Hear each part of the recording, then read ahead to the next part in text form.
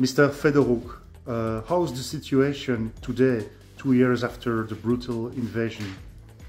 Ситуація є досить складною. В моїй країні війна. Війна триває вже майже 10 років.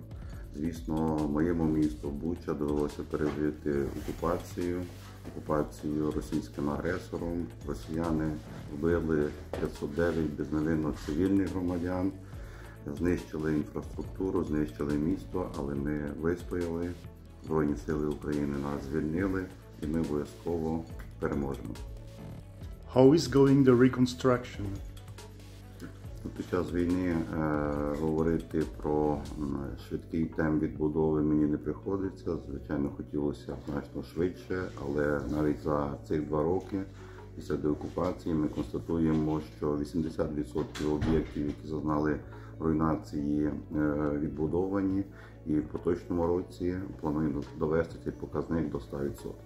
Більше 4 тисяч об'єктів е, росіяни знищили, пошкодили, але нам надзвичайно важливо передати е, житло, відбудоване житло його власникам, його громадянам, аби вони мали дах над головою. Do you fear today a new invasion of Russia in the north coming from Belarus to Bucha?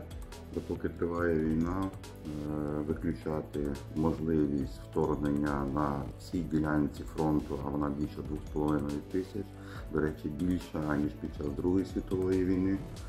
Е, І Збройні сили України тримають фронт, тобто виключати не можна. Але маємо глибоке переконання і робимо все для того, аби наші Збройні сили України гарантували безпечність нам тут в Бучі, як і в інших містах і селах України.